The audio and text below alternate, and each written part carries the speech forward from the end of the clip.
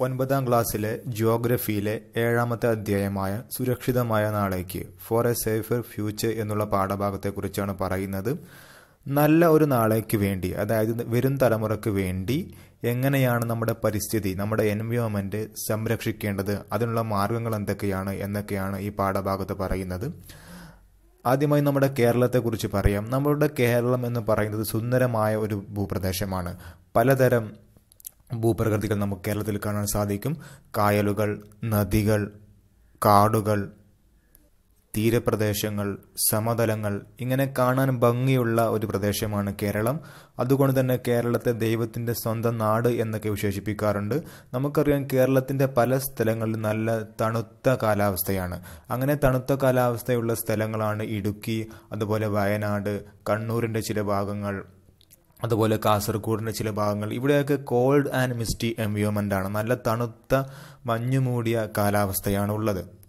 അപ്പോൾ ഇങ്ങനെ തണുപ്പുള്ള പ്രദേശത്ത് താമസിക്കുന്ന ആളുകൾ അവരുടെ കൃഷിക്ക് വേണ്ടിയുള്ള അവർ ഏതൊക്കെ കൃഷി ചെയ്യണമെന്നതൊക്കെ ആ കാലാവസ്ഥയെ ആശ്രയിച്ചാണ് ഇരിക്കുന്നത്. അവിടെയുള്ള തണുത്ത കാലാവസ്ഥക്ക് അവിടെ ഏത് കൃഷിയാണ് അനുയോജ്യം ആ കൃഷി അവർ ചെയ്യുന്നു. മാത്രമല്ല അവിടെയുള്ള ആ കാലാവസ്ഥ കൊണ്ട് അവർക്ക് നല്ല തണുപ്പുള്ള ഒരു അന്തരീക്ഷം കിട്ടുന്നു. നല്ല തണുപ്പുള്ള കാലാവസ്ഥ അവർക്ക് അനുഭവിക്കാൻ കഴിയുന്നു.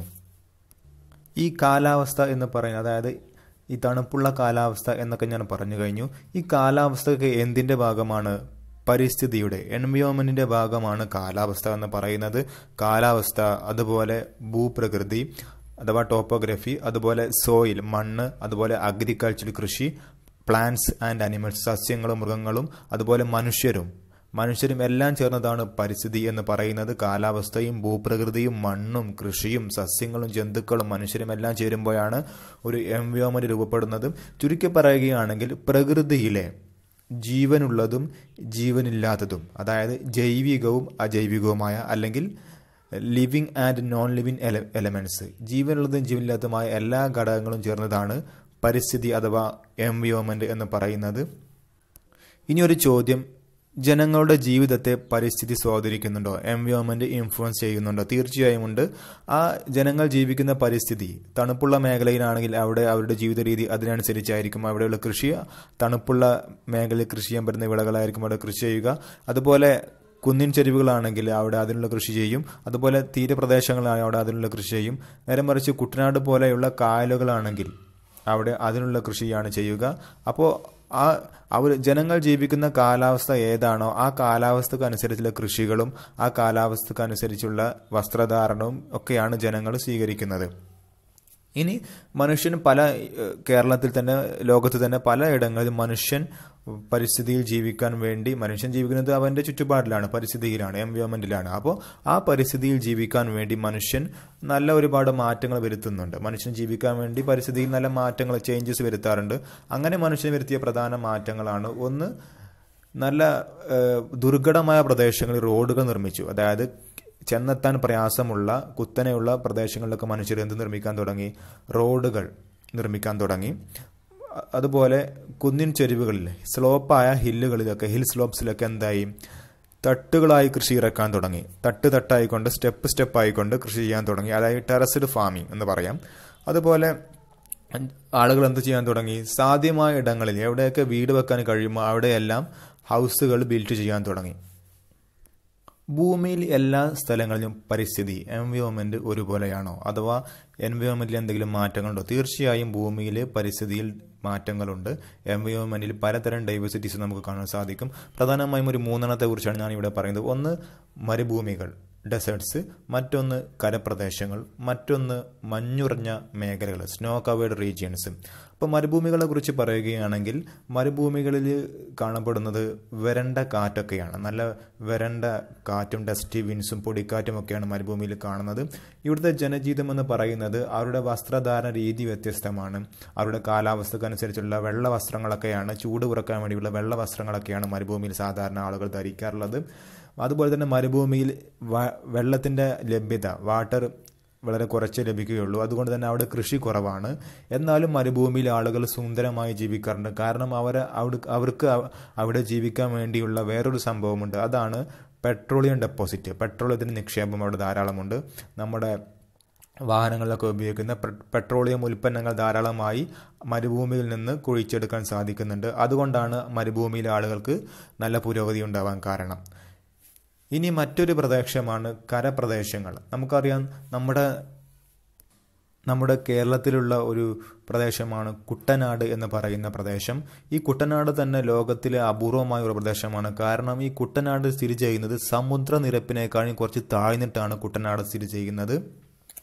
അതുകൊണ്ട് തന്നെ കുട്ടനാടിന്റെ ടോപ്പോഗ്രഫി എന്ന് പറയുന്നത് എല്ലാവർക്കും അത്ഭുതകരമായ ഒരു ടോപ്പോഗ്രഫിയാണ്. ഇവിടെ എന്തുണ്ട്? കായലുകൾ. ബാക്ക് വാട്ടേഴ്സ് കുട്ടനാട്ടിൽ കാണാൻ കഴിയും. ആലപ്പുഴയിലാണ് കുട്ടനാട്. ഈ കുട്ടനാട് നമുക്ക് ബാക്ക് വാട്ടേഴ്സ് കായലുകൾ കാണാൻ കഴിയും. ഈ കായലുകളുമായി ബന്ധപ്പെട്ടാണ് അവിടുത്തെ ആളുകളുടെ ലൈഫ് സ്റ്റൈൽ ജീവിത രീതി അവരുടെ പ്രധാനപ്പെട്ട ജീവിത മാർഗങ്ങൾ നെൽകൃഷിയും അതുപോലെ തന്നെ തെങ്ങും അതുപോലെ താറാവ് വളർത്തലും ഡക്ക് ഫാമും ഒക്കെയാണ് പ്രധാനപ്പെട്ട കൃഷി. കാരണം താറാവുകൾക്ക് നീന്തി തുടിക്കാൻ നല്ല വെള്ളം. Backwaters കായലുകളുണ്ട്.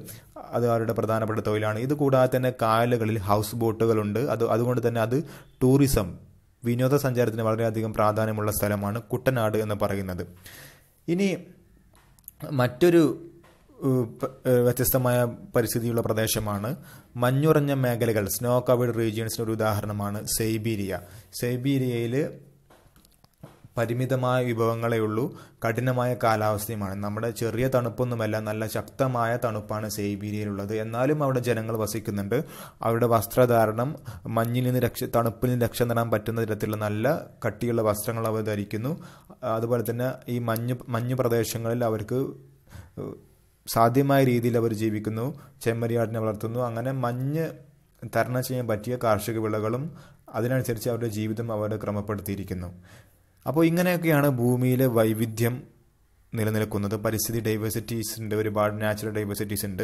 അപ്പോൾ ഇങ്ങനെയൊക്കെയാണെങ്കിലും നല്ല സുന്ദരമായി നിൽക്കുന്ന ഭൂമിയാണെങ്കിലും മനുഷ്യന്റെ ചില ഇടപെടലുകൾ നമ്മൾ മനുഷ്യന്മാരുടെ ചില അശാസ്ത്രീയമായ അൺസയന്റിഫിക് ഇന്റർവെൻഷൻസ് നേരല്ലാത്ത തെറ്റായ ഇടപെടലുകൾ ഇടപെടലുകൾ മൂലം ഈ എൻവയോൺമെന്റ് ഈ പരിസ്ഥിതിക്ക് ഇന്ന് നാശനഷ്ടങ്ങൾ സംഭവിച്ചു കൊണ്ടിരിക്കുകയാണ് ഇനി ഈ പരിസ്ഥിതി എൻവിയോൺമെന്റ് സംരക്ഷിക്കേണ്ടതുണ്ടോ? എന്തിനാണ് എൻവിയോൺമെന്റ് പ്രൊട്ടക്ട് ചെയ്യേണ്ട ചെയ്യേണ്ടത് എന്താണ് ചോദിക്കുന്നത്.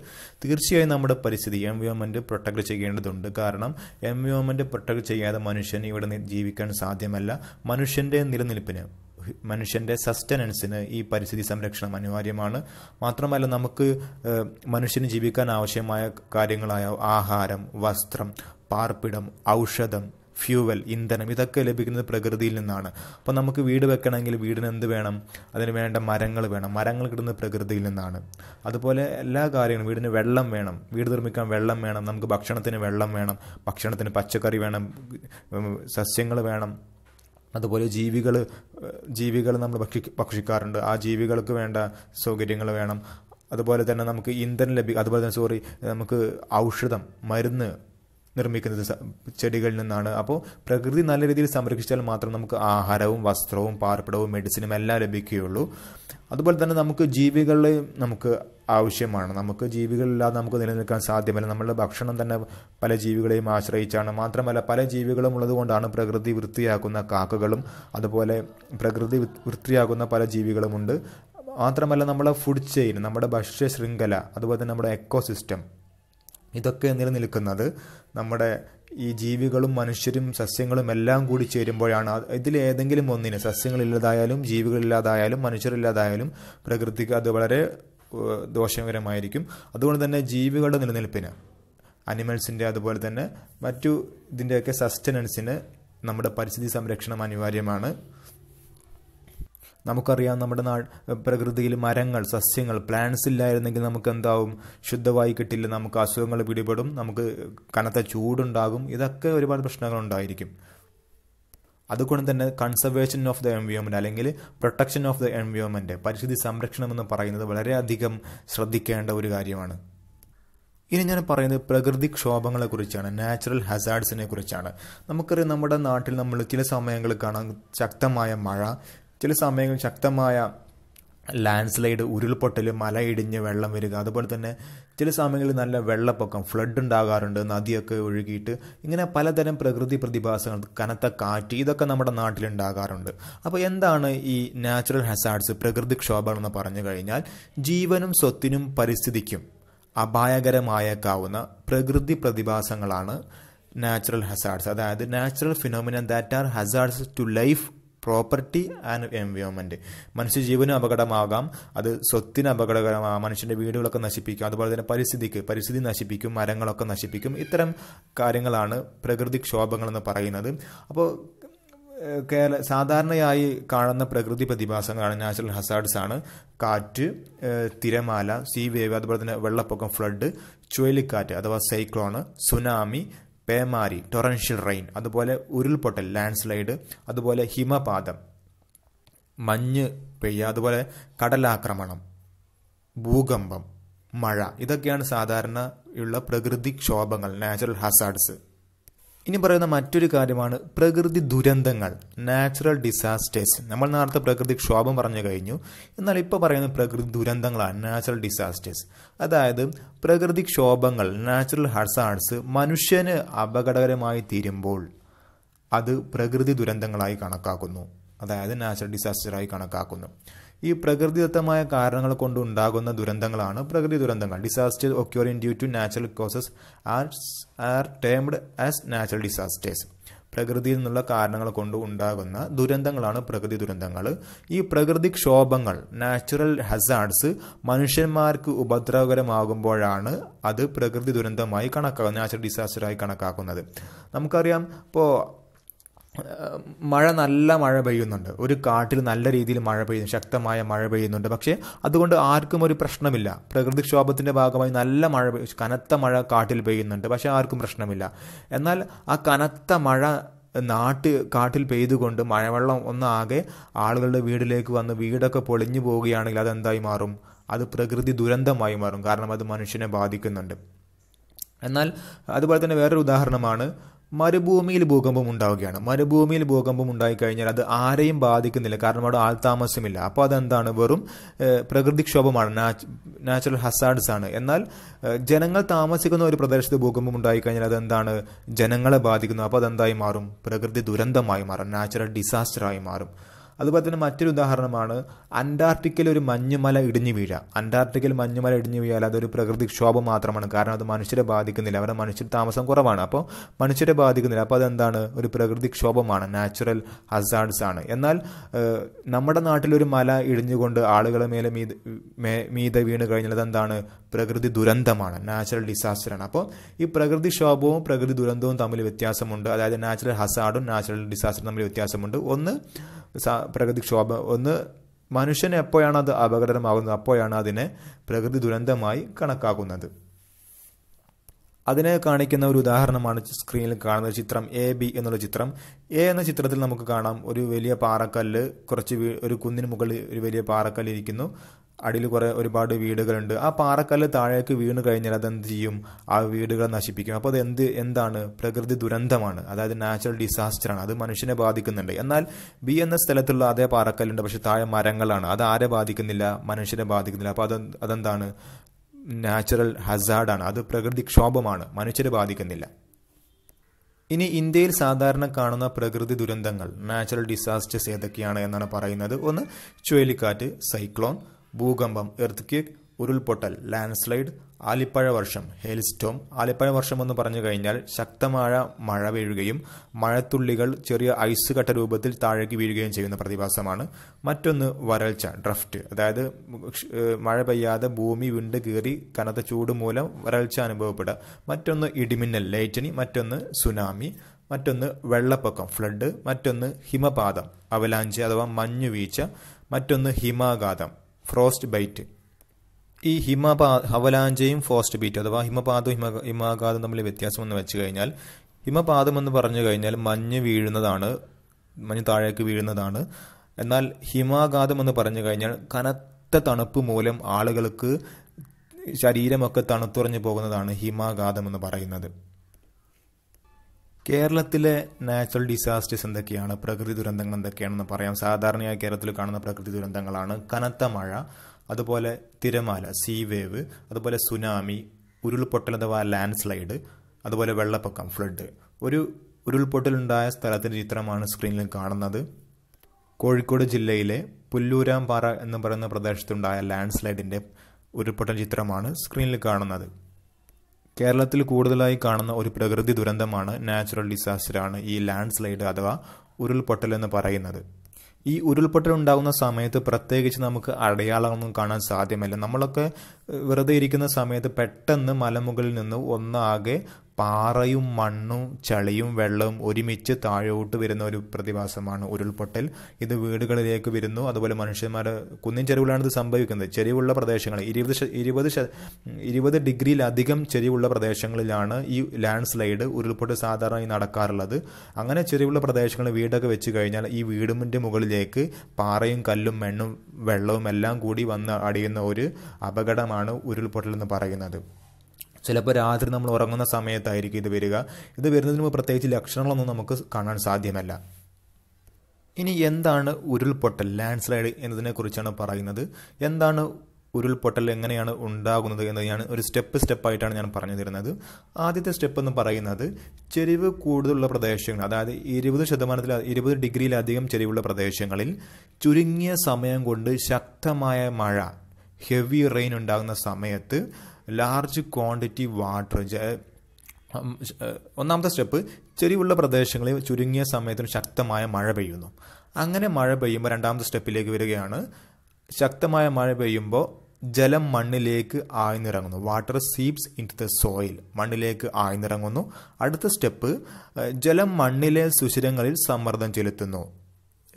Water exerts pressure on the pores in the soil ഈ മണ്ണിലേക്ക് പോകുന്ന ജലം മണ്ണിൽ ഒരുപാട് സുഷിരങ്ങളുണ്ട് പോർസ് ഉണ്ട്. ആ പോസിൽ എന്ത് ചെയ്യുന്നു? ബലം പ്രയോഗിക്കുന്നു സമ്മർദ്ദം ചെലുത്തുന്നു. അങ്ങനെ ആ സമ്മർദ്ദത്തിന്റെ ഫലമായി എന്തുണ്ടാകുന്നു? ഈ മണ്ണിലുള്ള വലിയ പാറകളുടെയും മറ്റും അടിയിലെ സോയിൽ എന്ത് ചെയ്യുന്നു?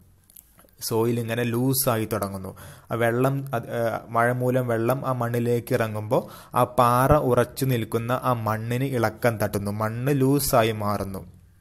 അപ്പോൾ പാറയുടെയും മറ്റു മടിയിലെ മണ്ണ് വെള്ളത്തിന്റെ ഈ വരവ് മൂലം താഴേക്ക് നീങ്ങുന്നു. മണ്ണ് ലൂസായി താഴേക്ക് നീങ്ങുന്നു. അങ്ങനെ മണ്ണ് ലൂസാകുന്ന സമയത്ത് പാറ മണ്ണിൽ നിന്ന് വേർപ്പെടുന്നു. അങ്ങനെ പാറ മണ്ണിൽ നിന്ന് വേർപ്പെട്ടുകൊണ്ട് ഭൂഗുരുത്വം മൂലം ഗ്രാവിറ്റി മൂലം പാറയും മറ്റും അടങ്ങുന്ന ഭാഗം ആ ചെരിവും ചെരിവിൽ നിന്ന് താഴോട്ട് ഭൂഗുരുത്വം മൂലം താഴോട്ട് പാറ അടർന്നു വരുന്നു. പാറ അടർന്നു വരുന്നതോടുകൂടി പാറക്കടിയിലെ മണ്ണും അടർന്നു വരുന്നു. അതുപോലെ ആ മണ്ണിന്റെ ഉള്ളിൽ നിന്ന് വെള്ളവും വാട്ടറും വരുന്നു.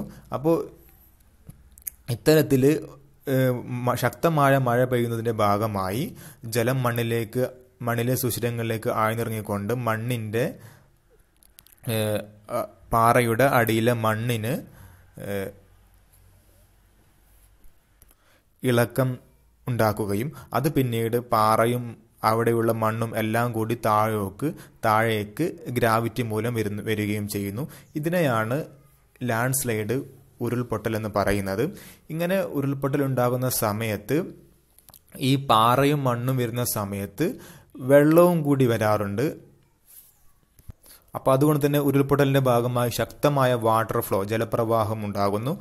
അത് എന്തായി മാറുന്നു? അരുവികളായി മാറുന്നു. അവിടെ സ്ട്രീംസ് രൂപം കൊള്ളുന്നു. ചില അരുവികൾ എന്താണ്? ഉരുൾപൊട്ടൽ കഴിഞ്ഞു കഴിഞ്ഞാൽ അരുവികളിലെ വെള്ളം വറ്റിപ്പോകും. എന്നാൽ ചില അരുവികൾ ഉരുൾപൊട്ടലിന്റെ ഭാഗമായി ലാൻഡ് സ്ലൈഡിന്റെ ഭാഗമായി ഉണ്ടാകുന്ന ചില അരുവികൾ പിന്നീട് കാലാകാലവും അതുപോലെ നിലനിൽക്കും. അപ്പോൾ എന്തായാലും ഇങ്ങനെ ശക്തമായ മഴയാണ് ചെരിഞ്ഞ പ്രദേശങ്ങളിൽ ഇരുപത് ഡിഗ്രിയിലധികം പ്രദേ ചെരിവുള്ള പ്രദേശങ്ങളിൽ വീ പെയ്യുന്ന ശക്തമായ മഴയാണ് ഉരുൾപൊട്ടലിന് കാരണം. ആ മഴവെള്ളം മണ്ണിലേക്ക് പോയി മണ്ണിനെ ഇളക്കം തട്ടുകയും അത് ഒന്നാകെ താഴേക്ക് ചെരി ചെരിവുള്ള പ്രദേശങ്ങളിലേക്ക് വരികയും ചെയ്യുന്നു. ഇങ്ങനെയുള്ള ഉരുൾപൊട്ടൽ മൂലം കേരളത്തിൽ ഒരുപാട് പേര് മരിക്കുന്നുണ്ട്. കേരളത്തിൽ രണ്ടായിരത്തി കഴിഞ്ഞ വർഷം രണ്ടായിരത്തി പത്തൊമ്പതിൽ വയനാട് ജില്ലയിൽ ഉരുൾപൊട്ടൽ ഉണ്ടായിട്ടുണ്ട് അതിന്റെ ഭാഗമായി ഒരുപാട് പേര് മരിച്ചിട്ടുണ്ട്.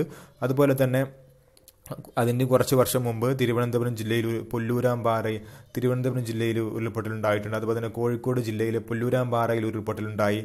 അവിടെയൊക്കെ ഒരുപാട് ആളുകൾ മരണപ്പെട്ടിട്ടുണ്ട്. അതുപോലെ ഒരുപാട് ആളുകളുടെ വീടുകൾക്ക് നാശനഷ്ടം സംഭവിച്ചിട്ടുണ്ട്. കൃഷി നശിക്കുന്നുണ്ട്. അങ്ങനെ പലതും ഉരുൾപൊട്ടൽ മൂലം നമുക്ക് അനുഭവപ്പെടേണ്ടി വരുന്നുണ്ട്. പലപ്പോഴും മനുഷ്യന്റെ ഇടപെടലുകൾ മനുഷ്യന്റെ അൺസയന്റിഫിക് ഇന്റർവെൻഷൻ അശാസ്ത്രീയമായ തെറ്റായ ഇടപെടലുകൾ പ്രകൃതിയിൽ മനുഷ്യൻ ചെയ്യുന്ന ദ്രോഹങ്ങളും ഉരുൾപൊട്ടലിന് കാരണമാകാറുണ്ട്. അതിന്റെ കാണിക്കുന്ന ചിത്രമാണ് പറയുന്നത്. അൻപത് വർഷം മുമ്പുള്ള ഒരു ചിത്രമാണ്. ഒരു കുന്ന് ഒരു കുന്ന് കാണുന്നുണ്ട്. ഒരു- ചെരിവുള്ള കുന്ന് സ്ലോപ്പായ ഒരു ഹില്ല് കാണുന്നു. അവിടെ എന്താണ് നിറയെ മരങ്ങളുണ്ട്. അതിന്റെ താഴെ വീടുകൾ ആകെ കുറച്ച് ദൂരെയായി രണ്ട് മൂന്ന് വീടുകൾ മാത്രമേ ഉള്ളൂ നല്ല വെള്ളമുള്ളൊരു നദി ഒരു അരുവിയോ നദിയോ എന്തോ സ്ഥി- സ്ഥിതി ചെയ്യുന്നുണ്ട്. എന്നാൽ ഇപ്പോഴവിടുത്തെ അവസ്ഥ ആ മലയിലെ മരങ്ങളെല്ലാം നശിപ്പിച്ചിരിക്കുന്നു. മനുഷ്യർ മാത്രമല്ല മലയിൽ കൊണ്ടുപോയി നിറയെ വീടുകളും വെച്ചിരിക്കുന്നു. അപ്പോൾ സ്വാഭാവികമായും മഴ ശക്തമായി പെയ്തു കഴിഞ്ഞാൽ എന്ത് സംഭവിക്കും? അൻപത് വർഷം മുമ്പാണെങ്കിൽ മഴ പെയ്തു കഴിഞ്ഞാൽ ആ മഴവെള്ളം മരങ്ങളെല്ലാം മണ്ണിലേക്ക് വലിച്ചിറക്കി ആ പ്രകൃതിയെ സംരക്ഷിക്കും. എന്നാൽ ഇപ്പോഴുള്ള ആ അവസ്ഥയിൽ മഴ പെയ്തു കഴിഞ്ഞാൽ മഴവെള്ളം മണ്ണിലേക്ക് ഇറങ്ങിയിട്ട് മണ്ണിലെ സുഷിരങ്ങളിലൂടെ പോയിട്ട് അവിടെയുള്ള മണ്ണിനടിയിലെ പാറക്കും മറ്റുമൊക്കെ ഇളക്കം തട്ടുകയും അത് ഒന്നാകെ അടർന്ന് ഈ താഴെയുള്ള വീടുകളുടെ മുകളിലേക്കാണ് വീടുക. അപ്പോൾ ആ വീടുകളിലെ ആളുകൾക്ക് എന്ത് സംഭവിക്കും? മരണം സംഭവിക്കും അപകടം സംഭവിക്കും. അപ്പോൾ അതുകൊണ്ട് മനുഷ്യന്റെ ഇത്തരത്തിലുള്ള അശാസ്ത്രീയമായ ഇടപെടലാണ് ഇവിടെ കണ്ടത്. അശാസ്ത്രീയമായ രീതിയിൽ മനുഷ്യൻ എന്ത് എന്ത് ചെയ്തു? കുന്നിൻ ചെരുവുകളിൽ പോയി വീട് വെച്ചു. അപ്പോൾ എന്തുണ്ടാവും? തീർച്ചയായും അത് അപകടം വിളിച്ചു വരുത്തുന്ന വരുത്തുന്നതിന് തുല്യമാണ്. അപ്പോൾ നമ്മൾ ഒരിക്കലും കുന്നിൻ ചെരുവുകളിലൊന്നും വീട് വെക്കാൻ പാടില്ല. കാരണം അവിടെ ഏത് സമയത്താണ് മണ്ണിടിയുക ലാൻഡ് സ്ലൈഡ് ഉണ്ടാകുക ഉരുൾപൊട്ടൽ ഉണ്ടാകുക എന്നൊന്നും പറയാൻ സാധ്യമല്ല. അതുപോലെ നമ്മൾ മരങ്ങളൊന്നും ധാരാളമായി വെട്ടിമുറിക്കാനും ഡീഫോറസ്റ്റേഷൻ നടത്താനും ഒന്നും പാടില്ല. അതുപോലെ തന്നെ നമ്മൾ എന്ത് ചെയ്യാൻ പാടില്ല? വലിയ കുന്നുകളൊന്നും ഇടിച്ച് മണ്ണെടുക്കാൻ പാടില്ല. നമ്മൾ മണ്ണ് എടുക്കാൻ വേണ്ടി കുന്നിടിക്കാൻ പാടില്ല. ഡിമോളിഷ് ചെയ്യാൻ പാടില്ല. ഹിൽ സ്ലൈഡ്സ് ഫോർ സോയിൽ അതിനുവേണ്ടി അത് ചെയ്യരുത്. അതുപോലെ തന്നെ കുത്തനെയുള്ള ചെരിവുകൾ ഹില്ല് സ്ലോപ്പുള്ള ഹില്ല് ഏരിയകളിൽ നമ്മൾ എന്ത് ചെയ്യാൻ പാടില്ല? മണ്ണ് ഇളക്കുന്ന മണ്ണിന് ഇളക്കം തട്ടുന്ന വിളകളൊന്നും ക്രോപ്സ് ഒന്നും കൾട്ടിവേഷൻ നടത്താൻ പാടില്ല കൃഷി ചെയ്യാൻ പാടില്ല. മറ്റൊരു കാര്യം ഞാൻ നേരത്തെ പറഞ്ഞ ചെരിവുള്ള പ്രദേശങ്ങളിൽ വീടുകളോ കെട്ടിടങ്ങളോ ആളുകൾക്ക് ആളുകൾ അവിടെ താമസിക്കുകയൊന്നും ചെയ്യാൻ പാടില്ല. അതൊക്കെ അപകട സാധ്യത വർദ്ധിപ്പിക്കുന്ന കാര്യമാണ്. അപ്പോൾ ഞാൻ പറഞ്ഞ ഇതൊക്കെ മനുഷ്യന്റെ തെറ്റായ പ്രവൃത്തികളാണ്. അൺസയന്റിഫിക് ഇന്റർവെൻഷൻസ് ആണ്. എന്നാൽ ഇനി സയന്റിഫിക് ആയ രീതികൾ എന്തൊക്കെയാണ്? പ്രാക്ടീസുകൾ എന്തൊക്കെയാണ്? അപ്പോൾ ശാസ്ത്രീയമായ ഭൂവിനിയോഗ രീതികൾ സയന്റിഫിക് ലാൻഡ് യൂസ് പ്രാക്ടീസ് ആണ് ഞാൻ പറയുന്നത്. കുന്നിൻ ചെരുവുകളിലൊക്കെ നമ്മൾ എങ്ങനെയാണ് ഇടപെടേണ്ടത് എന്നാണ് പറയുന്നത്. ഒന്നാമതായി കുന്നിൻ ചെരുവുകൾ നമുക്ക് കൃഷി നടത്തണമെങ്കിൽ നമ്മൾ എങ്ങനെയുള്ള കൃഷി നടത്തണം? തട്ടുകളാക്കി കൃഷി നടത്തണം. അതായത് ടെറസ് ഫാമിംഗ് ആണ് നടത്തുക ഒരു തട്ട് തട്ടായി കൃഷി സ്റ്റെപ്പ് സ്റ്റെപ്പായി കൃഷിയാണ് നടത്തേണ്ടത്. ഒരു സ്റ്റെപ്പിൽ ഒരു തട്ടിൽ കൃഷി നടത്താം. പിന്നെ കുറച്ച് മുകളിൽ പോയിക്കൊണ്ട് മണ്ണ് നിരത്തിയിട്ട് അവിടെ ഒരു കൃഷി. അങ്ങനെ ഓരോ ഒറ്റ നിരപ്പിൽ കൃഷി ചെയ്യാൻ നിര മൊത്തം നിരത്തിയിട്ട് കൃഷി ചെയ്യാൻ പാടില്ല. പകരം നമ്മൾ തട്ട് തട്ടായിക്കൊണ്ട് കുന്നിൻ ചെരുവുകൾ നമ്മൾ കണ്ടിട്ടുണ്ടാകും അത്തരത്തിലുള്ള കൃഷി. അങ്ങനെയാണ് കൃഷി നടത്തേണ്ടത്. മറ്റൊന്ന് കുന്നിന് പ്രദേശങ്ങളിൽ പോയിട്ട് നമ്മൾ അവിടെ എന്ത് ചെയ്യാൻ പാടില്ല? അവിടെയുള്ള സ്ട്രീമുകൾക്ക് അവിടെയുള്ള നാച്ചുറൽ സ്ട്രീമുകൾക്ക് തടസ്സം ബ്ലോക്ക് ചെയ്യരുത്. അത് തടസ്സപ്പെടുത്തരുത്. അതൊക്കെ ശുദ്ധ ശരിയായി നല്ല രീതിയിൽ ഒഴുകി പോയിക്കോട്ടെ അത് നമ്മൾ ഉപദ്രവിക്കാൻ പാടില്ല. മറ്റൊന്ന് നമ്മൾ കുന്നിൻ ചെരുവുകളിൽ നിർമ്മാണ പ്രവർത്തനങ്ങൾ ഒഴിവാക്കുക. കൺസ്ട്രക്ഷൻ ആക്ടിവിറ്റീസൊക്കെ കുന്നിൻ ചെരുവുകളിൽ ഒഴിവാക്കുക. ഇതൊക്കെയാണ് സയന്റിഫിക് ലാൻഡ് യൂസ് പ്രാക്ടീസുകൾ ഇനി മറ്റൊരു നാച്ചുറൽ ഡിസാസ്റ്ററാണ് പ്രകൃതി ദുരന്തമാണ് അല്ലെങ്കിൽ പ്രകൃതിക്ഷോഭമാണ് ഭൂകമ്പം. എർത്തു കേക്ക് എന്ന് പറയുന്നത്. അപ്പോൾ ഇന്ത്യയിലെ ഭൂകമ്പ ദുരന്ത തീവ്രത കാണിക്കുന്ന ഒരു മാപ്പാണ് ഒരു ഭൂപടമാണ് കാണിക്കുന്നത്. ഡിസാസ്റ്റർ ഇന്റൻസിറ്റി മാപ്പാണ് കാണിക്കുന്നത്. അപ്പോൾ ഇതിൽ അടയാളപ്പെടുത്തിയിട്ടുണ്ട് ദുരന്ത തീവ്രത ഏറ്റവും കൂടുതൽ വെരി ഹൈ ഇന്റൻസിറ്റി ഉള്ളത്. അതുപോലെ തന്നെ ഉയർന്ന ഹൈ ഇന്റൻസിറ്റി മീഡിയം അഥവാ moderate intensity low intensity very low intensity വളരെ കുറഞ്ഞ തീവ്രത. അപ്പോൾ ഇങ്ങനെയുള്ള ഒരു ഭൂപടമാണ് സ്ക്രീനിൽ കാണുന്നത്. അപ്പോൾ ദുരന്ത തീവ്രത ഏറ്റവും കൂടുതലുള്ള പ്രദേശങ്ങളാണ് നല്ല കറുപ്പ് നിറത്തിൽ കാണുന്നത്. അത് ഗുജറാത്തിന്റെ ചില ഭാഗങ്ങളിലുണ്ട്. അതുപോലെ തന്നെ അരുണാചൽ പ്രദേശ് ആസാം നാഗാലാൻഡ് മിസോറാം അങ്ങനെയുള്ള സ്ഥലങ്ങളിലൊക്കെ നല്ല തീവ്രതയുള്ള പ്രദേശങ്ങളാണ്. അതുപോലെ തന്നെ കാശ്മീരിന്റെ ചില ഭാഗങ്ങളിലൊക്കെ തീവ്രത കൂടുതലാണ്. അതുപോലെ ദുരന്ത തീവ്രത കുറഞ്ഞ പ്രദേശങ്ങളാണ്. ലോ വളരെ കുറഞ്ഞ. ദുരന്ത തീവ്രത വളരെ വെരി ലോ ഇന്റൻസിറ്റി ഉള്ള പ്രദേശങ്ങളാണ്. രാജസ്ഥാന്റെ ചില പ്രദേശങ്ങൾ ചെറിയ ചെറിയ കുത്തുള്ള പ്രദേശങ്ങൾ രാജസ്ഥാനിലെ ചില പ്രദേശങ്ങൾ അതുപോലെ തന്നെ മഹാരാഷ്ട്രയിലെ ചില പ്രദേശങ്ങൾ അതുപോലെ ഒറീസയിലെ ചില പ്രദേശങ്ങളൊക്കെ ജാർഖണ്ഡിന്റെ ഒക്കെ ചില ഛത്തീസ്ഗഡിന്റെ ഒക്കെ ചില ഭാഗങ്ങളൊക്കെ വളരെ കുറഞ്ഞ തീവ്ര ഭൂകമ്പം ഉണ്ടാകാൻ സാധ്യതയില്ലാത്ത പ്രദേശങ്ങളാണ്. അപ്പം നമുക്കൊരു സംശയം നമ്മുടെ കേരളത്തിൽ ഭൂകമ്പം ഉണ്ടാവാൻ സാധ്യതയുണ്ടോ? അപ്പോൾ കേരള കേരളം ഇതിൽ ഏത് ഏരി ഏത് വിഭാഗത്തിലാണ് പെടുന്നത് എന്ന് ചോദിച്ചു കഴിഞ്ഞാൽ കേരളത്തിൽ ഭൂകമ്പ സാധ്യത മോഡറേറ്റ് ഇന്റൻസിറ്റിയാണ് അതായത് സാമാന്യം ദുരന്ത തീവ്രത. ഭൂകമ്പം ഉണ്ടാവില്ല എന്ന് പറയാൻ സാധിക്കില്ല എന്നാൽ സാധ്യതയുണ്ട്. ഒരു മീഡിയം ലെവലിലാണ് കേരളം നിൽക്കുന്നത്. അപ്പോൾ കേരളത്തിലും ഭൂകമ്പം ഉണ്ടാകാൻ സാധ്യതയുണ്ട് എന്നാണ് പറയുന്നത്. ഭൂകമ്പവും അഥവാ എർത്ത് കേക്കും ഇതുപോലെ പെട്ടെന്നാണ് സംഭവിക്കുക. മുൻകൂട്ടി ലക്ഷണങ്ങളൊന്നും ചിലപ്പോൾ നമുക്ക് കാണാൻ കഴിഞ്ഞോളണമെന്നില്ല നമ്മൾ സാധാരണ പോലെ സ്കൂളിലൊക്കെ പോകുന്ന സമയത്ത് അല്ലെങ്കിൽ ജോലിക്കാരൊക്കെ ജോലിയിൽ പോകുന്ന സമയത്ത് പെട്ടെന്നാണ് ഭൂമി കുലുക്കം അനുഭവപ്പെടുക. അങ്ങനെ അങ്ങനെയാണ് കാഠ്മണ്ഡുവിലൊക്കെ നേപ്പാളിലെ കാഠ്മണ്ഡുവിലൊക്കെ ഭൂമി കുലുക്കം ഉണ്ടായത്.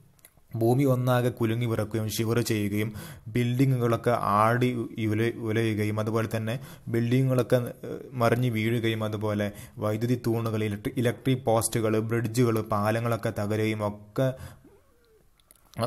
തകർന്നു വീഴുകയും ചെയ്യുന്ന ഒരു പ്രതിഭാസമായിരിക്കും ആ സമയത്ത് നമുക്ക് കാണാൻ സാധിക്കുക. മാത്രമല്ല ഒരു ഭൂകമ്പം നടന്നു കഴിഞ്ഞാൽ ഒരു ഒരുത്തേക്ക് നടന്നു കഴിഞ്ഞാൽ പിന്നീട് അതിന് ശേഷം വീണ്ടും വീണ്ടും തുടർ ചലനങ്ങൾ ഉണ്ടായിക്കൊണ്ടേയിരിക്കും. അങ്ങനെ ഒരു ഇരുപത്തിനാല് മണിക്കൂറിനുള്ളിൽ കാഠ്മണ്ഡുവിലൊക്കെ ഭൂകമ്പം നടന്ന സമയത്ത് ഒരു ദിവസത്തിനുള്ളിൽ നാൽപ്പത് തവണയാണ് ഭൂകമ്പം ഉണ്ടായത്. നാൽപ്പത് തവണ ചെറിയ ചെറിയ കുലുക്കങ്ങൾ വീണ്ടും ആഫ്റ്റർ ഷോക്സ് എന്നാണ് അതിന് പറയുക ചെറിയ ചെറിയ കുലുക്കങ്ങൾ വീണ്ടും ഉണ്ടായിട്ടുണ്ട്. ഇത് ഇതിന്റെ ഭാഗമായി കാഠ്മണ്ഡുവിൽ പതിനായിരത്തിലധികം ആളുകൾ മരണപ്പെട്ടു. ഇതിനെക്കുറിച്ച് ശാസ്ത്രജ്ഞർ അന്വേഷിച്ചു മനസ്സിലായത് ഈ ഭൂമി ഭൂ ഈ കാഠ്മണ്ഡുവിലുണ്ടായ ഭൂമി കുലുക്കം ഉണ്ടാകാൻ കാരണം ഭൂമിയിൽ നിന്ന് മുപ്പത് കിലോമീറ്റർ താഴെയുള്ള ഒരു കുലുക്കമാണ് ഇത്തരത്തിലുള്ള. അതായത് ഭൂമിയുടെ പ്രതലത്തിൽ നിന്ന് നമ്മൾ നിൽക്കുന്ന സ്ഥലത്ത് നിന്ന് താഴോട്ട് മുപ്പത് കിലോമീറ്റർ പോയി കഴിഞ്ഞാൽ അവിടെയുണ്ടായ ഒരു കുലുക്കമാണ് ഇത്തരത്തിൽ ഭൂമിയുടെ പുറം ഭാഗത്ത് ഇത്രയധികം പതിനായിരക്കണക്കിന് ആളുകളുടെ ജീവനെടുത്തത് എന്നാണ് നമുക്ക് മനസ്സിലാക്കാൻ സാധിക്കുന്നത്. അപ്പോൾ ഇത്തരത്തിൽ ഭൂകമ്പം ഉണ്ടായിക്കഴിഞ്ഞാൽ അത് മനുഷ്യർക്ക് വളരെയധികം പിന്നെ ഡേഞ്ചറാണ്. ഒരുപാട് ആളുകൾ മരണപ്പെടും. വീടുകളും ഒക്കെ മനുഷ്യന് മേലെ മറിഞ്ഞു വീഴുന്ന മറിഞ്ഞു വീ വീണിട്ടാണ് ആളുകൾ മരണപ്പെടുക. മനുഷ്യൻ വീടിന്റെ അകത്തായിരിക്കും. ആ വീടൊക്കെ മനുഷ്യൻ ദേഹത്തേക്ക് മറിഞ്ഞു വീഴും. മരങ്ങൾ മറിഞ്ഞു വീഴും. പാലങ്ങൾ പൊളിഞ്ഞു പോകും. അങ്ങനെയുള്ള കാര്യങ്ങളൊക്കെ ഉണ്ടാകും. ഇനി ഈ ഭൂകമ്പത്തെ നമുക്ക് എങ്ങനെയാണ് പ്രതിരോധിക്കാൻ കഴിയുക? ഭൂകമ്പം ഉണ്ടാകുന്ന സമയത്ത് നമുക്ക് എന്തൊക്കെയാണ് ചെയ്യാൻ കഴിയുക എന്നാണ് പറയുന്നത്? ഒന്നാമതായി നമ്മൾ ചെയ്യേണ്ടത് ഭൂകമ്പത്തെ പ്രതിരോധിക്കാൻ കഴിയുന്ന കെട്ടിട നിർമ്മാണ രീതികൾ അവലംബിക്കുക. അഡോപ്റ്റ് സീസ്മിക് റെസിസ്റ്റന്റ് കൺസ്ട്രക്ഷൻ അതായത് സീസ്മിക് എന്ന് പറഞ്ഞാൽ ഭൂകമ്പത്തെ പറയുന്ന മറ്റൊരു പേരാണ് സീസ്മിക് എന്ന് പറയുന്നത്. അപ്പോൾ ഭൂകമ്പത്തിന് പ്രതിരോധിക്കാൻ കഴിയുന്ന കെട്ടിടങ്ങൾ മറിഞ്ഞു വീണാലും അപ അപകടം പറ്റാത്ത കെട്ടിടങ്ങളൊക്കെ നിർമ്മിക്കുക. അതുപോലെ തന്നെ താരതമ്യേന ഭാരം കുറഞ്ഞ മേൽക്കൂരകൾ ഉപയോഗിച്ച് വീടുണ്ടാക്കുക. ലൈറ്റ് റൂഫ്സ് ഉപയോഗിച്ചുകൊണ്ട് വീടുണ്ടാക്കുക അതായത് നമ്മുടെ വീടിന്റെ മേൽക്കൂര ഷീറ്റൊക്കെ ആണെങ്കിൽ ഭാരം കുറഞ്ഞ വസ്തുക്കളാണെങ്കിൽ നമുക്ക് നമ്മുടെ ദേഹത്തേക്ക് അത് മറിഞ്ഞു വീണാൽ നമുക്ക് അപകടങ്ങളൊന്നും സംഭവിക്കില്ല. അപ്പോൾ ഇങ്ങനെയൊക്കെ ശ്രദ്ധിച്ചു കഴിഞ്ഞാൽ നമുക്ക് ഭൂകമ്പത്തിന്റെ ഒരു തീവ്രത ഒരു പരിധി വരെ നമുക്ക് കുറയ്ക്കാൻ സാധിക്കും. സ്ക്രീനിൽ കാണുന്നത് ഒരു ഭൂകമ്പത്തിന്റെ ചിത്രമാണ്. കെട്ടിടങ്ങളൊക്കെ മറിഞ്ഞു വീണ ഒരു ചിത്രമാണ്. നേപ്പാളിൽ നടന്ന ഭൂകമ്പത്തിന്റെ നേപ്പാളിലെ കാഠ്മണ്ഡുവിൽ നടന്ന ഭൂകമ്പത്തിന്റെ ചിത്രമാണ് കാണുന്നത്. അതുപോലെ നമ്മുടെ ഇന്ത്യയിലും ഒരുപാട് ഭൂകമ്പങ്ങൾ ഉണ്ടായിട്ടുണ്ട്. ഇന്ത്യയിൽ ഗുജറാത്തിൽ ഭൂകമ്പം ഉണ്ടായിട്ടുണ്ട്. ഒരുപാട് ആളുകൾ മരിച്ചിട്ടുണ്ട്. ഗുജറാത്തിലെ ഗുജറാത്തിലെ ഭൂകമ്പത്തെ കൂടാതെ നമ്മുടെ ഇന്ത്യയുടെ പല ഭാഗങ്ങളിലും ചെറിയ ചെറിയ ഭൂകമ്പങ്ങളൊക്കെ ഉണ്ടാകാറുണ്ട്. പക്ഷേ അത്ര ആളപായമൊന്നും ഉണ്ടാകാറില്ല. എന്നാൽ നിരന്തരം ഭൂകമ്പം നടക്കുന്ന ഒരു പ്രദേശമുണ്ട് ഈ ലോകത്ത്. അതാണ് ജപ്പാൻ. ജപ്പാനിൽ ഇടയ്ക്കിടയ്ക്ക് ഭൂകമ്പം ഉണ്ടായിരിക്കും. എന്നാൽ ആ ജപ്പാനുകാർ എന്ത് ചെയ്യും? അവരുടെ വീടുകളൊക്കെ വളരെ കനം കുറഞ്ഞ വീടുകളാണ്. കാരണം അവരുടെ ഭൂകമ്പത്തിൽ വീട് പൊളിഞ്ഞു വീണാലും അവർക്ക് അപകടമൊന്നും സംഭവിക്കില്ല. അവർക്ക് അവർ വീടിന് ഭൂകമ്പത്തെ പ്രതിരോധിക്കാൻ കഴിയുന്ന തരത്തിലുള്ള ഭാരം കുറഞ്ഞ ഷീറ്റുകളൊക്കെ ഉപയോഗിച്ചാണ് അവർ വീടുകൾ നിർമ്മിക്കുക. ഇനി മറ്റൊരു നാച്ചുറൽ ഡിസാസ്റ്റർ പ്രകൃതി ദുരന്തത്തെക്കുറിച്ചാണ് പറയുന്നത് വെള്ളപ്പൊക്കം. വെള്ളപ്പൊക്കം എന്ന് പറഞ്ഞു കഴിഞ്ഞാൽ മഴക്കാലത്ത് ധാരാളം വെള്ളം നദിയിലേക്ക് വരികയും ആ വരുന്ന വെള്ളം മുഴുവൻ ഉൾക്കൊള്ളാൻ നദി കഴിയാതെ വരികയും അങ്ങനെ നദി കര കവിഞ്ഞ് പുറത്തേക്ക് ഒഴുകുകയും ചെയ്യുന്ന പ്രതിഭാസമാണ് വെള്ളപ്പൊക്കം എന്ന് പറയുന്നത്. Few days the rainy season when a large quantity of water flow into the river during the rainy season the river will not be able to hold the excess water അതായത് എക്സസ് ആയി വരുന്ന water hold ചെയ്യാൻ റിവറിന് കഴിയുന്നില്ല. And it overflows ഇത് പുറത്തേക്ക് ഒഴുകുന്നു. അപ്പോൾ പുറത്തുള്ള കരയിലുള്ള വീടുകളിലേക്കും ബിൽഡിങ്ങുകളിലേക്കും സ്കൂളുകളിലേക്കും കൃഷിയിലേക്കും ഒക്കെ ഈ വെള്ളം കയറി നാശനഷ്ടം ഉണ്ടാകുന്നു അപ്പോൾ ഇന്ത്യയിൽ നിരന്തരം പിന്നെ വെള്ളപ്പൊക്കം ഉണ്ടാകുന്ന പ്രദേശമാണ് ഹിമാലയൻ നദികൾ ഉൾപ്പെടുന്ന ഹിമാലയൻ റിവേഴ്സ് ഉൾപ്പെടുന്ന പ്രദേശം. ആ ഹിമാലയൻ റിവേഴ്സ് തന്നെ ബ്രഹ്മപുത്ര വാലി ബ്രഹ്മപുത്ര നദിയുടെ വാലി തീരപ്രദേശങ്ങളാണ്. സാധാരണ നിരന്തരം വെള്ളപ്പൊക്കം ഉണ്ടാകുന്നത് ഫ്ലഡ് ഉണ്ടാകുന്നത്. ഈ ബ്രഹ്മപുത്ര നദിയുടെ തീരപ്രദേശം ശക്തമായ ഹെവി റെയിൻ ലഭിക്കുന്നത് കൊണ്ടാണ് ഇവിടെ എപ്പോഴും വെള്ളപ്പൊക്കം ഉണ്ടാകുന്നത് ഈ കേരളത്തിലും വെള്ളപ്പൊക്കം ഉണ്ടായിട്ട് നമുക്കറിയാം കഴിഞ്ഞ വർഷം കേരളത്തിൽ വെള്ളപ്പൊക്കമുണ്ടായി പ്രളയമുണ്ടായി. എറണാകുളം ജില്ലയിൽ രണ്ടായിരത്തി പതിനെട്ടിൽ പ്രളയമുണ്ടായി രണ്ടായിരത്തി പത്തൊമ്പതിലും പ്രളയമുണ്ടായി അപ്പോൾ കേരളത്തിലും നദികൾ ഒരുപാടുള്ളത് കൊണ്ട് തന്നെ കേരളത്തിലും ശക്തമായ പ്രളയം ഫ്ലഡ് കഴിഞ്ഞ വർഷം ഉണ്ടായിട്ടുണ്ട്. എന്നാൽ കേരളത്തിലെ ഏറ്റവും ശക്തമായ പ്രളയമുണ്ടായത് തൊള്ളായിരത്തി ഇരുപത്തിനാല് ആയിരത്തി തൊള്ളായിരത്തി ഇരുപത്തി നാലിലാണ് ഇത് അറിയ ആളുകൾക്കിടയിൽ ഇത് അറിയപ്പെടുന്നത് തൊള്ളായിരത്തി ഒൻപതിലെ വെള്ളപ്പൊക്കം എന്നാണ്. അതായത് മലയാള വർഷം അഥവാ കൊല്ല വർഷം ആയിരത്തി തൊണ്ണൂറ്റി ഒൻപതിലാണ് ഇത് നടന്നത്. ഇത് നമ്മുടെ ഇംഗ്ലീഷ് കലണ്ടർ നമ്മൾ ഉപയോഗിക്കുന്ന ഇപ്പോൾ ഇപ്പോഴത്തെ ഇംഗ്ലീഷ് കലണ്ടർ പ്രകാരം ആയിരത്തി തൊള്ളായിരത്തി ഇരുപത്തിനാലിലാണ് ഈ പ്രളയം ഫ്ലഡ് ഫ്ലഡ് നടന്നത്. ഇപ്പോൾ അതുപോലെ തന്നെ രണ്ടായിരത്തി പതിനെട്ടിൽ നടന്നിട്ടുണ്ട്. രണ്ടായിരത്തി പതിനെട്ടിൽ പ്രളയം മൂലം ഒരുപാട് വീടുകളിലേക്ക് വെള്ളം കയറി. അപ്പോൾ അതിന്റെ നമ്മൾ ആ വെള്ളം കയറിയ വീടുകളൊക്കെ ശുചീകരിക്കാൻ നമ്മൾ ഒരുപാട് നമ്മൾ നമ്മുടെ നാട്ടുകാർ നമ്മുടെ കേരളത്തിലെ ജനങ്ങൾ ഒരുമിച്ച് നിന്നു. അതുപോലെ തന്നെ അവരെ സഹായിക്കാൻ വേണ്ടി നമ്മളൊക്കെ ഒരുമിച്ച് നിന്നിരുന്നിരുന്നു. ഒരുമിച്ച് നിന്നാണ് പ്രവർത്തിച്ചത്. ഇനി മറ്റൊരു കാര്യമാണ് മലവെള്ള പാച്ചിൽ ഫ്ലാഷ് ഫ്ലഡ്. എന്താണ് മലവെള്ള പ്ലാച്ചിൽ മലവെള്ള പാച്ചിൽ എന്ന് പറഞ്ഞു കഴിഞ്ഞാൽ ഫ്ലാഷ് ഫ്ലഡ് എന്ന് പറഞ്ഞു കഴിഞ്ഞാൽ നമ്മൾ പെട്ടെന്ന് നമ്മൾ നോക്കി നിൽക്കുന്ന നമ്മളിപ്പോൾ ഒരു പുഴവക്കത്ത് ഇങ്ങനെ പോയി നിൽക്കുന്ന സമയത്ത് പെട്ടെന്ന് പുഴയിൽ ഒന്നാകെ ധാരാളം വെള്ളം ഒഴുകി വരുന്ന ഒരവസ്ഥയാണ് മലവെള്ളപ്പാച്ചിൽ എന്ന് പറയുന്നത്. ഫ്ലാഷ് ഫ്ലഡ് എന്ന പേരിൽ അറിയപ്പെടുന്നത്. അപ്പോൾ ഇതിന് ഉദാഹരണമാണ് സമീപകാലത്ത് ഉത്തരാഖണ്ഡ് ഉത്തരാഖണ്ഡിൽ ഒരു വെള്ളപ്പൊക്കമുണ്ടായി ഫ്ലഡ് ഉണ്ടായി. അത് ഇത്തരത്തിലുള്ള ഫ്ലാഷ് ഫ്ലഡ് മൂലമുണ്ടായതാണ്. ഇത് ഒരു സഡൻ റൈസ് ഓഫ് വാട്ടർ ലെവലാണ് പെട്ടെന്നാണ് വെള്ളം വരിക. എന്താ കാരണമൊന്നും നമുക്കറിയില്ല. പെട്ടെന്ന് മലവെള്ളം ഒന്നായിട്ട് ഒന്നാകി വരുന്ന പ്രതിഭാസമാണ് ഫ്ലാഷ് ഫ്ലഡ് എന്ന് പറയുന്നത്. ഇതിന് നമുക്ക് മുൻ മുൻ ലക്ഷണങ്ങളൊന്നും ഇതിന്റെ ഇത് വരുന്നതിന് മുമ്പ് ലക്ഷണങ്ങളൊന്നും ഉണ്ടായിരിക്കില്ല നമ്മൾ ചിലപ്പോൾ പുഴയിൽ കുളിച്ചുകൊണ്ടിരിക്കുന്ന സമയത്തൊക്കെ ആയിരിക്കും ഇത് വരിക. ഇനി വെള്ളപ്പൊക്കം ഉണ്ടാകാതിരിക്കാൻ നമുക്ക് avoid the threat of flood ഈ വെള്ളപ്പൊക്കത്തിന്റെ അപകടങ്ങൾ കുറയ്ക്കാൻ വേണ്ടി നമുക്ക് എന്ത് ചെയ്യാൻ സാധിക്കും? ഒന്നാമതായി നമ്മൾ പുഴയോട് ചേർന്ന് വീട് വെക്കരുത്. Do not build houses on the river banks മറ്റൊന്ന് വയലുകൾ മണ്ണിട്ട് മൂടരുത്. Do not recline the paddy fields എന്തുകൊണ്ടാണ് വയലുകൾ മണ്ണിട്ട് മൂടരുതെന്ന് പറയുന്നത്? കാരണം വയലുകളാണ് മഴവെള്ളത്തെ ഭൂമിയിലേക്ക് താഴ്ത്തി കൊണ്ടുപോകുന്നത്. അപ്പോൾ ഈ മഴവെള്ള ഈ വയലിലെ വയലിൽ നമ്മൾ മണ്ണിട്ട് കഴിഞ്ഞാൽ ആ മണ്ണ് ഇടുന്നത് മൂലം മഴവെള്ളം മണ്ണിലേക്ക് ഇറങ്ങാത്ത അവസ്ഥ വരുന്നു. അപ്പോൾ മഴവെള്ളം അവിടെ കെട്ടി നിൽക്കുന്നു. അത് നമ്മുടെ വീടുകളിലേക്ക് കയറുന്നു. നമ്മുടെ വീടുകൾ നശിക്കുന്നു. ആളുകൾ മരിക്കുന്നു. അപകടം ഉണ്ടാകുന്നു. അതുപോലെ നമ്മൾ ചെയ്യേണ്ട മറ്റൊന്നാണ് നദീതീരങ്ങളിൽ ബണ്ടുകൾ നിർമ്മിക്കുക. Construct bunds on the river banks അതായത് വെള്ളം കയറാതിരിക്കാൻ വേണ്ടി ബണ്ടുകൾ നിർമ്മിക്കുക. അതുപോലെ നദിയിൽ എന്തെങ്കിലും തടഞ്ഞു നിൽക്കുന്നുണ്ടെങ്കിൽ അതൊക്കെ ശരിയാക്കി നദിയുടെ ഒഴുക്ക് സുഗമമാക്കി കൊടുക്കുക. ഇതൊക്കെ നമുക്ക് വെള്ളപ്പൊക്കം ഉണ്ടാകാതിരിക്കാൻ ചെയ്യാൻ സാധിക്കും. നമുക്കറിയാം നമ്മുടെ രണ്ടായിരത്തി പതിനെട്ടിൽ കേരളത്തിൽ ഒരു മഹാപ്രളയം ഉണ്ടായി ഒരു നല്ല ഒരു ഫ്ലഡ് ഉണ്ടായി. മാസി ഫ്ലഡ് ഉണ്ടായി. അതിന്റെ ഭാഗമായി പിന്നെ കോട്ടയം ആലപ്പുഴ പത്തനംതിട്ട എറണാകുളം ഇടുക്കി ഇങ്ങനെ പത്തോളം ജില്ലകളിൽ ശക്തമായ പ്രളയം ബാധിച്ചു. എന്നാൽ നമ്മുടെ കേരളത്തിന്റെ ഗവൺമെന്റിന്റെയും നമ്മുടെ ജനങ്ങളുടെയും ഐക്യം ഒരുമ മൂലം നമ്മളൊക്കെ അത് അതിനെതിരെ അതിജീവിച്ച് മുന്നോട്ട് വന്ന് നമ്മളിപ്പോൾ അവരുടെ വീടുകളൊക്കെ ശരിയാക്കി കൊടുത്തു. അവർക്ക് വേണ്ട സൗകര്യങ്ങൾ കൊടുത്തു. അവർക്ക് ഭക്ഷണം കൊടുത്തു. അവരുടെ ദുരിതാശ്വാസ ക്യാമ്പുകളിൽ കൊണ്ടെത്തിച്ചു. അപ്പോൾ ഇങ്ങനെ ഇതിനൊക്കെ പ്രധാനമായി നേതൃത്വം കൊടുത്തത് നമ്മുടെ മത്സ്യത്തൊഴിലാളികളായിരുന്നു. അതുപോലെ സന്നദ്ധ സംഘടനകളായിരുന്നു. വ്യത്യസ്ത സേനാ വിഭാഗങ്ങളൊക്കെ ആയിരുന്നു അപ്പോൾ ഇത്തരത്തിലുള്ള വെള്ളപ്പൊക്കം ഒക്കെ ഉണ്ടാകാതിരിക്കാൻ നമ്മൾ എന്ത് ചെയ്യണം?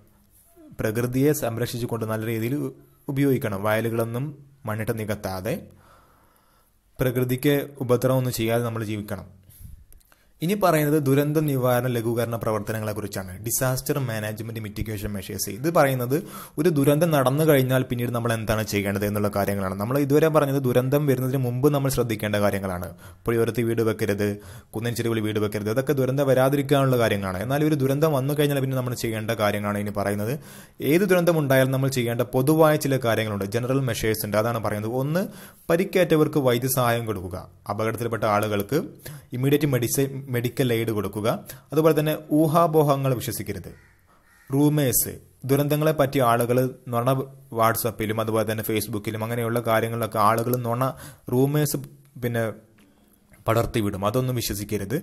അതുപോലെ ഊഹാപോഹങ്ങൾ പ്രചരിപ്പിക്കരുത്. തെറ്റായ വാർത്തകൾ റൂമേഴ്സ് ഒന്നും നിങ്ങൾ ആളുകൾക്ക് പ്രചരിപ്പിച്ചു കൊടുക്കരുത്. ആളുകൾക്കിടയിൽ പറഞ്ഞുകൊണ്ട് ആളുകളെ ഭയപ്പെടുത്തരുത്.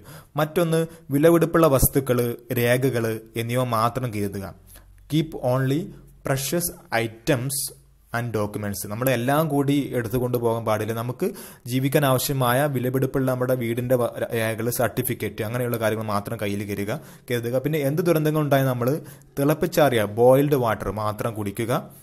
പിന്നെ അത്യാവശ്യം മരുന്നുകൾ ഇമ്പോർട്ടന്റ് നെസസറി മെഡിസിൻസ് ഒക്കെ കയ്യിൽ കരുതുക. ഇതൊക്കെയാണ് നമ്മൾ പ്രധാനമായും ശ്രദ്ധിക്കേണ്ടത്. ഒരു ദുരന്തമുണ്ടായി കഴിഞ്ഞാൽ. ഇനി ഓരോ ദുരന്തത്തിന് ദുരന്തവുമായി ബന്ധപ്പെട്ട മിറ്റിഗേഷൻ മെസ്സേജസ് ആണ്. അതെങ്ങനെയാണ് നമ്മൾ തരണം ചെയ്യുക എന്നുള്ളത് പറയുന്നത്. ഡിസാസ്റ്റർ മാനേജ്മെന്റിന്റെ ഓരോ ദുരന്തങ്ങളും അത് എങ്ങനെയാണ് നമുക്ക് അതിൽ അതിൽ നിന്ന് രക്ഷപ്പെടാം എന്നുള്ള കാര്യങ്ങളുമാണ്. അതിന്റെ അപകടത്തിൽപ്പെട്ട ആളുകളെ എങ്ങനെയൊക്കെ സഹായിക്കാമെന്നാണ് പറയുന്നത്. ഒന്നാമതായി പറയുന്നത് വെള്ളപ്പൊക്കം ഫ്ലഡ് ഫ്ലഡ് ഉണ്ടാകുന്ന സമയത്ത് നമ്മൾ എന്ത് ചെയ്യണം?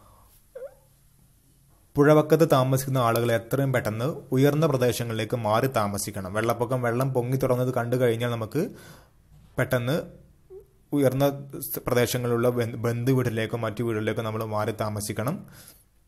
അതുപോലെ തന്നെ ശക്തമായ ഒഴുക്കുള്ള സമയത്ത് do not step into river in torrential river നല്ല ഒഴുക്കുള്ള സമയത്ത് പുഴയിൽ ഇറങ്ങരുത്. മറ്റൊന്ന് വീടിനുള്ളിൽ വെള്ളം കയറിയാൽ ഇലക്ട്രിസിറ്റി എന്ത് ചെയ്യണം? ഡിസ്കണക്ട് ചെയ്യണം. വൈദ്യുതി ബന്ധം വിച്ഛേദിക്കണം. ഇനി മറ്റൊരു പ്രകൃതി ദുരന്തമായ ലാൻഡ് സ്ലൈഡ് ഉരുൾപൊട്ടൽ ഉണ്ടായാൽ എന്ത് ചെയ്യണം? ഒന്നാമതായി കുത്തനെ ചെരിവുള്ള ഇടങ്ങളിൽ നിന്നും മാറി താമസിക്കണം. നമ്മൾ താമസിക്കുന്നത് കുന്നിൻ ചെരിവുകളാണെങ്കിൽ നമ്മൾ എന്ത് ചെയ്യണം? Settle down in area away from steeper slopes അതായത് ആ ചെരിവുള്ള ഏരിയയിൽ നിന്ന് നമ്മൾ മാറി നിൽക്കണം. അടുത്തതായി അടുത്തതായി നമ്മൾ ചെരിഞ്ഞ പ്രദേശത്ത് താമസിക്കുന്നവരാണെങ്കിൽ നമ്മൾ എന്ത് ചെയ്യണം? മഴക്കാലമായി കഴിഞ്ഞാൽ ദുരന്ത സാധ്യതയുണ്ട് എന്ന് എന്ന് ആലോചിച്ചുകൊണ്ട് നമ്മൾ ഒരു ജാഗ്രത ഒരു കോഷൻ ഒരു മുന്നറിയിപ്പ് നമ്മൾ മനസ്സിൽ ഇങ്ങനെ കൊണ്ട് നടക്കണം. അതായത് മഴക്കാലമാണ് നമ്മൾ താമസിക്കുന്ന ചെരിഞ്ഞ പ്രദേശത്താണ് ഇവിടെ എന്തെങ്കിലും അപകടം ഉണ്ടാകും എന്നുള്ളൊരു ചിന്ത നമുക്ക് ആവശ്യമാണ്. ഇനി മറ്റൊരു ദുരന്തമാണ് ഇടിമിന്നൽ ലൈറ്റനിങ്. അതുണ്ടായിക്കഴിഞ്ഞാൽ നമ്മൾ എന്ത് ചെയ്യണം? ഒന്നാമതായി നമ്മൾ പെട്ടെന്ന് ഡിസ്കണക്ട് ഇലക്ട്രിസിറ്റി വൈദ്യുതി വിച്ഛേദിക്കുക. മറ്റൊന്ന് sit on wooden planks or wooden cot without touch in the ground അതായത് നമ്മൾ മരത്തിന്റെ കട്ടിലിലോ മരത്തിന്റെ പലകമയിലോ ഒക്കെ കയറിയിരിക്കുക. നമ്മൾ നിലത്ത് ഇരിക്കാൻ പാടില്ല. മറ്റൊന്ന് നമ്മൾ ഈ ഇടിമിന്നൽ ഉണ്ടാകുന്ന സമയത്ത് വല്ല തുറസായ സ്ഥലങ്ങൾ വല്ല ഗ്രൗണ്ടിലോ പാടത്തോ ഒക്കെ പെട്ട് കഴിഞ്ഞ് നമ്മൾ എന്ത് ചെയ്യണം? നമ്മൾ കാ ഇരുന്നു കൊണ്ട് നമ്മുടെ താടി കാലുമുട്ടിൽ വെക്കണം. താടി കാലുമുട്ടിൽ വെച്ച് ഇരിക്കണം എന്നാണ് പറയുന്നത് അപ്പോൾ അത് ഇടിമിന്നൽ ഏൽക്കാൻ സാധ്യത കുറവാണ് എന്നാണ് പറയുന്നത്. If outside sit with chin on your knee അതായത് കാലുമുട്ടിൽ താടി വെച്ചുകൊണ്ട് നമ്മൾ ഇങ്ങനെ ഇരിക്കണം എന്നാണ് പറയുന്നത്. അങ്ങനെ ആകുമ്പോൾ മിന്നലേൽക്കാനുള്ള സാധ്യത കുറവാണ്. മറ്റൊരു കാര്യം നമ്മൾ ഇടിമിന്നൽ ഉണ്ടാകുന്ന സമയത്ത് മരങ്ങളുടെ അടിയിൽ പോയി നിൽക്കരുത്. ഒറ്റപ്പെട്ട് നിടക്ക് കിടക്കുന്ന മരങ്ങളുടെ താഴെ പോയി നിൽക്കരുത്. Move away from isolated trees അതായത് ഒറ്റപ്പെട്ട മരങ്ങളുടെ ചുരുന്ന് പെട്ടെന്ന് മാറി നിൽക്കണം. ഇനി മറ്റൊരു ദുരന്തമാണ് സുനാമി. ഡിസാസ്റ്ററാണ് നാച്ചുറൽ ഡിസാസ്റ്റർ ആണ് സുനാമി. സുനാമി ഉണ്ടായി കഴിഞ്ഞാൽ നമ്മൾ എന്ത് ചെയ്യണം? എന്താണ് ചെയ്യേണ്ടത്? ഒന്നാമതായി കടലിൽ അസാധാരണമായ എന്തെങ്കിലും മാറ്റങ്ങളോ അതുപോലെ തന്നെ സുനാമി ഉണ്ടാകുമെന്നുള്ള എന്തെങ്കിലും മുന്നറിയിപ്പോ ഒക്കെ ഉദ്യോഗസ്ഥരുടെ ഭാഗത്തു നിന്ന് ലഭിച്ചു കഴിഞ്ഞാൽ എത്രയും പെട്ടെന്ന് നമ്മൾ അവിടെ നിന്ന് നമ്മൾ താമസിക്കുന്ന തീരപ്രദേശത്ത് നിന്ന് മാറി താമസിക്കണം. Move away from the coast if you notice anything strange happening in the sea അല്ലെങ്കിൽ something some warning in this regard അതുമായി ബന്ധപ്പെട്ട് വല്ല വാർണിംഗ് കിട്ടിക്കഴിഞ്ഞാൽ മാറി താമസിക്കണം. മറ്റൊന്ന് നമ്മൾ ഇങ്ങനെ സുനാമി ഉണ്ടാകുന്ന സമയം ഇങ്ങനെ ഉണ്ടാകുന്ന പ്രതീക്ഷിച്ച് കഴിഞ്ഞാൽ നമ്മുടെ കയ്യിൽ എന്ത് കരുതണം? Keep life jacket or inflated tube ഒരു ലൈഫ് ജാക്കറ്റോ നീ വെള്ളത്തിൽ പൊങ്ങി കിടക്കുന്നതിനാണ് ലൈഫ് ജാക്കറ്റ്. അതുപോലെ ഒരു ട്യൂബോ വായു നിറച്ച ട്യൂബോ നമ്മൾ കയ്യിൽ കരുതണം. ഇനി എർത്ത് കേക്ക് ഉണ്ടായി കഴിഞ്ഞാൽ നമ്മൾ എന്ത് ചെയ്യണം? ഒന്നാമതായി വീഴാൻ സാധ്യതയുള്ള കെട്ടിടങ്ങൾ പരസ്യ പലകകൾ എന്നിവയുടെ അടുത്തുനിന്ന് മാറി നിൽക്കണം. ബിൽഡിങ്സിന്റെയും ഹോർഡിങ്സിന്റെയും താഴെ നിന്ന് മാറി നിൽക്കണം. അടുത്തതായിക്കൊണ്ട് ഭൂകമ്പം ഉണ്ടായി കഴിഞ്ഞാൽ വീണ്ടും വീണ്ടും തുടർചലനങ്ങൾ കണ്ടിന്യൂസ് ആയിട്ടുള്ള എർത്ത് കേക്സ് ഉണ്ടാകാൻ സാധ്യതയുണ്ട്. ആഫ്റ്റർ ഇഫക്റ്റ് ഉണ്ടാകാൻ സാധ്യതയുണ്ട്. അതുകൊണ്ട് തന്നെ ഒരു ഭൂകമ്പം ഉണ്ടായി കഴിഞ്ഞാൽ വീണ്ടും അവിടെ നിൽക്കരുത്. വീണ്ടും തുടർചലനം ഉണ്ടാകാൻ സാധ്യതയുള്ളതിനാൽ ഗവൺമെന്റ് ഒരു മുന്നറി ഒരു അറിയിപ്പ് തരുന്നത് വരെ നമ്മൾ വീടുകളിലേക്ക് മടങ്ങി പോകാൻ പാടില്ല. രണ്ടാമതായി നമ്മൾ തുറസ്സായ പ്രദേശങ്ങളിൽ പോയി നിൽക്കണം. ഭൂകമ്പം ഉണ്ടാകുന്ന സമയത്ത് നമ്മൾ ഒരുപാട് ബിൽഡിങ്ങുകൾ എന്നുള്ള പ്രദേശത്ത് നിൽക്കാൻ പാടില്ല. നമ്മൾ ഗ്രൗണ്ടിലേക്കോ അങ്ങനെയുള്ള ഓപ്പൺ സ്പേസിൽ പോയി നിൽക്കണം. അതാണ് സേഫ് അതുപോലെ തന്നെ ഭൂകമ്പം ഉണ്ടാകുന്ന സമയത്ത് നമ്മൾ do not use lift lift ഉപയോഗിക്കരുത്. അത് മറ്റൊന്നാണ് നമ്മൾ ഭൂകമ്പം ഉണ്ടാകുന്ന സമയത്ത് നമുക്ക് വീടിനകത്താണെങ്കിൽ ഏറ്റവും നല്ല പ്രദേശം വീടിന്റെ മൂലകളാണ്. വീടിന്റെ നടുവിൽ പോയി നിൽക്കരുത്. വീടിന്റെ കോർണറുകളിൽ പോയിട്ടാണ് നിൽക്കേണ്ടത്. അവിടെയാണ് കുറച്ചുകൂടി അപകടം സാധ്യത കുറവുണ്ടാവുക അതുപോലെ തന്നെ ഭൂകമ്പം ഉണ്ടാകുന്ന സമയത്ത് നമ്മൾ എന്ത് ചെയ്യാൻ പാടില്ല? ജനലരികിൽ നിന്ന്. കീപ് അവേ ഫ്രം വിൻഡോസ് ജനലിന്റെ അരികിൽ നിന്ന് മാറി നിൽക്കണം. ഇനി ഞാൻ പറയുന്നത് ഒരു ദുരന്ത നിവാരണ പ്രവർത്തനങ്ങൾക്ക് ഡിസാസ്റ്റർ മിറ്റിഗേഷൻ മെഷേഴ്സിന് പ്രധാനമായും മൂന്ന് ഘട്ടങ്ങളാണ്. ത്രീ സ്റ്റേജസ് ആണുള്ളത്. അതാണ് ഒന്ന് രക്ഷാപ്രവർത്തനം റെസ്ക്യൂ ഓപ്പറേഷൻ ആളുകളെ രക്ഷപ്പെടുത്തുക മറ്റൊന്ന് പുനരധിവാസം റീഹാബിലിറ്റേഷൻ ആളുകളെ മാറി താമസിപ്പിക്കുക മറ്റൊന്ന് പ്രിപ്പയർനെസ് അഥവാ തയ്യാറെടുപ്പ്. ഈ മൂന്ന് കാര്യങ്ങളാണ് ഉള്ളത് അത് ഞാൻ ഒന്ന് പറയാം. അതായത് ഒരു ദുരന്തം ഉണ്ടായിക്കഴിഞ്ഞാൽ ഒരു ഡിസാസ്റ്റർ ഉണ്ടായിക്കഴിഞ്ഞാൽ നമ്മൾ എന്ത് ചെയ്യണം? വെള്ളപ്പൊക്കം ഉണ്ടായിക്കഴിഞ്ഞാൽ നമ്മൾ രക്ഷാപ്രവർത്തനം നടത്തണം. അവിടെ ഉള്ള ആളുകളെ പോയി ആ വീടുകളിൽ നിന്ന് വെള്ളം കയറിയ വീടുകളിൽ നിന്ന് ആളുകളെ രക്ഷിക്കണം. അതൊരു ഘട്ടം. രണ്ടാമതായി ആ രക്ഷിച്ച ആളുകളെ റീഹാബിലിറ്റേഷൻ നടത്തണം. പുനരധിവസിപ്പിക്കണം. അവരെ കൊണ്ടുപോയി നല്ല വേറെ സ്ഥലങ്ങളിൽ പിന്നെ ദുരിതാശ്വാസ ക്യാമ്പുകൾ റെസ്ക്യൂ ഹോംസിൽ ഒക്കെ കൊണ്ടുപോയി താമസിപ്പിക്കണം. ഈ ദുരിതം മാറുന്നവരെ അവിടെ താമസിപ്പിക്കണം. അതുപോലെ തന്നെ വീടുകളൊക്കെ നഷ്ടപ്പെട്ട് കഴിഞ്ഞിട്ടുണ്ടെങ്കിൽ അവർക്ക് വീടുകളൊക്കെ പിന്നീട് നിർമ്മിച്ചു കൊടുക്കണം. ഇനി മൂന്നാമത്തെ ഘട്ടമാണ് തയ്യാറെടുപ്പ്. വീണ്ടും ഒരു ദുരന്തം ഉണ്ടാവുകയാണെങ്കിൽ നമ്മൾ അതിനെതിരെ മുൻകൂട്ടി തയ്യാറായി ഇരിക്കണം. അടുത്ത വർഷമൊക്കെ ഇങ്ങനെ ദുരന്തം ഉണ്ടാവുകയാണെങ്കിൽ അതിനുവേണ്ട സജ്ജീകരണങ്ങളും ഇപ്പോൾ വെള്ളപ്പൊക്കമാണെങ്കിൽ അതിനെ രക്ഷിക്കാനുള്ള ഉപകരണങ്ങളും കാര്യങ്ങളും ഒക്കെ തയ്യാറാക്കിക്കൊണ്ട് അതിനുള്ള സജ്ജീകരണം നമ്മൾ ഇപ്പോൾ തന്നെ തയ്യാറാക്കി വെക്കണം. അപ്പോൾ എങ്ങനെയാണ് ദുരന്ത നിവാരണത്തിന്റെ സ്റ്റേജുകൾ എന്ന് പറയുന്നത്. അതായത് ഒരു ഡിസാസ്റ്റർ നടക്കുന്നു. അപ്പം നമ്മുടെ ആളുകൾ എന്ത് ചെയ്യുന്നു? അവിടെ റെസ്ക്യൂ ഓപ്പറേഷൻ നടത്തുന്നു രക്ഷാപ്രവർത്തനം നടത്തുന്നു. എന്നിട്ട് അവിടെയുള്ള ജനങ്ങളെല്ലാം റീഹാബിലിറ്റേഷൻ നടത്തുന്നു. അതായത് അവർക്ക് താമസിക്കാനുള്ള സ്ഥലങ്ങൾ ഒരുക്കി കൊടുക്കുന്നു. പിന്നീട് എന്ത് ചെയ്യുന്നു? അടുത്ത ദുരന്തം ഉണ്ടാകും സമയത്ത് എങ്ങനെയാണ് കാര്യങ്ങൾ തീരുമാനിക്കുന്നത് അതിന് അതിനെക്കുറിച്ചുള്ള ഒരു തയ്യാറെടുപ്പ് പ്രിപ്പയർനെസ് നടത്തുന്നു. മുൻകരുതലൊക്കെ എടുത്തുകൊണ്ട് ആളുകൾക്ക് ആളുകളെ ബോധവൽക്കരിച്ചു കൊണ്ടുള്ള തയ്യാറെടുപ്പൊക്കെ നടത്തി വയ്ക്കുന്നു. ഇനി അടുത്തത് ദുരന്ത നിവാരണത്തിൽ കുട്ടികളുടെ പങ്ക് role of children in disaster management അതായത് ഒരു നമ്മുടെ നാട്ടിലോ മറ്റോ പ്രദേശത്തൊക്കെ ദുരന്തം ഉണ്ടായി കഴിഞ്ഞാൽ ഡിസാസ്റ്റർ ഉണ്ടായി കഴിഞ്ഞാൽ അത് കുട്ടികൾക്ക് എന്തെങ്കിലും ചെയ്യാൻ പറ്റുമോ എന്നാണ് ചോദ്യം. തീർച്ചയായും കുട്ടികൾക്കൊക്കെ ഒരുപാട് കാര്യങ്ങൾ ചെയ്യാൻ കഴിയും. അതാണ് പറയുന്നത്. ഒന്നാമതായി ലഘുലേഖകൾ നോട്ടീസുകൾ ഇതൊക്കെ വിതരണം ചെയ്യുക. ദുരന്തത്തിനെ കുറിച്ച് ജനങ്ങളെ ബോധവൽക്കരിച്ചുകൊണ്ട് ഫാം ഫ്ലെറ്റ്സ് അതുപോലെ തന്നെ നോട്ടീസുകളൊക്കെ വിതരണം ചെയ്യുക. അതുപോലെ തന്നെ പോസ്റ്റർ പ്രദർശനം നടത്തുക. ദുരന്തത്തെക്കുറിച്ചുള്ള മുന്നറിയിപ്പുകളുള്ള പോസ്റ്റർ പ്രദർശനം നടത്തുക. അതുപോലെ ശാസ്ത്രീയ ഭൂവിനിയോഗം സംബന്ധിച്ച ബോധവൽക്കരണം സയന്റിഫിക് ലാൻഡ് യൂസസ് സംബന്ധിച്ച ബോധവൽക്കരണം നടത്തുക. അതായത് കുന്നിൻ ചെരുവുകളിൽ വീട് വെക്കരുത് പുഴയോരത്തെ വീട് വെക്കരുത് മണ്ണ് വയലിൽ മണ്ണിട്ട് നികത്തരുത് കുന്നിടിക്കരുത്. ഇങ്ങനെയുള്ള കാര്യങ്ങളൊക്കെ ജനങ്ങൾക്ക് പറഞ്ഞ് ബോധ്യപ്പെടുത്തി കൊടുക്കുക. രണ്ട് അടുത്തതായി കുട്ടികൾ ചെയ്യുമ്പോൾ മറ്റൊരു കാര്യമാണ് രക്ഷാപ്രവർത്തനങ്ങളിൽ ഏർപ്പെടുക. അതായത് റെസ്ക്യൂ ഓപ്പറേഷനുകളിൽ ഏർപ്പെടുക. ആളുകൾ പ്രയാസപ്പെടുകയാണെങ്കിൽ അവരെ സഹായിക്കുക വെള്ളപ്പൊക്കത്തിൽപ്പെട്ട ആളുകളെ വീടുകളിൽ നിന്ന് രക്ഷിക്കുക അങ്ങനെയുള്ള കാര്യങ്ങളിലൊക്കെ കുട്ടികൾക്കും നീന്തൽ അറിയുന്ന ആളുകൾക്കൊക്കെ ആളുകളെ സഹായിക്കാൻ സാധിക്കും. അവർക്ക് വേണ്ട അതുപോലെ തന്നെ ഈ വെള്ളപ്പൊക്കത്തിൽ പെട്ടുകൊണ്ട് വീട് നഷ്ടപ്പെട്ട് ദുരിതാശ്വാസ ക്യാമ്പിൽ റെസ്ക്യൂ ഹോമിൽ കഴിയുന്ന ആളുകൾക്ക് എന്ത് എത്തിച്ചു കൊടുക്കാം കുട്ടികൾക്ക്? അവർക്ക് വേണ്ട ഭക്ഷണം എത്തിച്ചു കൊടുക്കാം അവർക്ക് വേണ്ട മരുന്ന് എത്തിച്ചു കൊടുക്കാം അവർക്ക് വേണ്ട വസ്ത്രങ്ങൾ എത്തിച്ചു കൊടുക്കാം അവരെ സഹായിക്കാം. അവർക്ക് ധരിക്ക അവർക്ക് കിടക്കാനുള്ള പുതപ്പുകൾ വിരിക്കാനുള്ള അങ്ങനെയുള്ള കാര്യങ്ങളൊക്കെ നമുക്ക് എത്തിച്ചു കൊടുക്കാം. അതുപോലെ തന്നെ നമുക്ക് ചെയ്യുമ്പോൾ മറ്റൊരു കാര്യമാണ് ദുരിതാശ്വാസ ക്യാമ്പുകൾ റെസ്ക്യൂ ഹോമുകൾ സുരക്ഷാ ഹോമുകൾ ദുരിതാശ്വാസ ക്യാമ്പുകൾ. ദുരിതാശ്വാസ ക്യാമ്പുകൾ അഥവാ റിലീഫ് ക്യാമ്പ്സ് ഒക്കെ സന്ദർശിക്കുക റിലീഫ് ക്യാമ്പ്സ് എന്ന് പറയും ദുരിതാശ്വാസ ക്യാമ്പിന് അത്തരം ക്യാമ്പുകൾ സന്ദർശിച്ച് കഴിഞ്ഞാൽ നമുക്ക് അവിടെ കുട്ടികളുണ്ടാവും പ്രായമായ ആളുകളുണ്ടാവും സ്ത്രീകളുണ്ടാവാം എല്ലാവരും ഉണ്ടാകാം. അപ്പോൾ അവർ അവിടെയൊക്കെ സന്ദർശിച്ചുകൊണ്ട് അവർക്ക് വേണ്ട അവർക്കൊരു അവരെ മനസ്സിനൊക്കെ സമാധാനിപ്പിക്കാൻ വേണ്ടിയുള്ള കാര്യങ്ങളൊക്കെ നമുക്ക് വേണമെങ്കിൽ പാട്ട് പാടാം അങ്ങനെയുള്ള അവർക്കൊക്കെ ഒരു എൻജോയ്മെന്റ് കൊടുക്കാൻ വേണ്ടി അവരുടെ സങ്കടം മാറ്റാൻ വേണ്ടിയുള്ള ശ്രമങ്ങളിലൊക്കെ പങ്കെടുക്കുക. അതുപോലെ തന്നെ അവർക്ക് വേണ്ട സൗകര്യങ്ങൾ അവർക്ക് വേണ്ട തൊട്ടിലുകൾ കുട്ടികൾക്ക് കളിപ്പി കളിപ്പാട്ടങ്ങൾ ഡ്രസ്സുകൾ മരുന്നുകൾ വസ്ത്രങ്ങൾ ഭക്ഷണം ഉണ്ടാക്കി കൊടുക്കാം അവരെ സഹായിക്കാം. ഇങ്ങനെയുള്ള കാര്യങ്ങളൊക്കെ നമുക്ക് കുട്ടികൾക്ക് ചെയ്യാൻ സാധിക്കും. നമ്മുടെ കേരളത്തിന്റെ ഒരു പ്രത്യേകത എന്ന് പറഞ്ഞു കഴിഞ്ഞാൽ നമ്മുടെ കേരളക്കാർ ഇങ്ങനെയുള്ള അപകടങ്ങൾ ഉണ്ടാകുന്ന സമയത്ത് നമ്മൾ മനം അറിഞ്ഞ് മനസ്സറിഞ്ഞ് സഹായിക്കും. അവിടെ നമുക്ക് ജാതിയോ മതമോ വർഗമോ നിറമോ പ്രദേശമോ പണക്കാരനോ പാവപ്പെട്ടവനോ ഒന്നും ഒരു പ്രശ്നമല്ല. നമ്മൾ കേരളക്കാർ എല്ലാത്തിനും ഒരുമിച്ച് ഒറ്റക്കെട്ടാണ്. ഏത് പ്രശ്നമുണ്ടായി? അതിനുള്ള തെളിവാണ് നമ്മുടെ കഴിഞ്ഞ വെള്ളപ്പൊക്കം ഉണ്ടായപ്പോഴും ഉരുൾപൊട്ടൽ ഉണ്ടായപ്പോഴും നമ്മുടെ നിലമ്പൂരിലുണ്ടായി വയനാട്ടിലുണ്ടായി.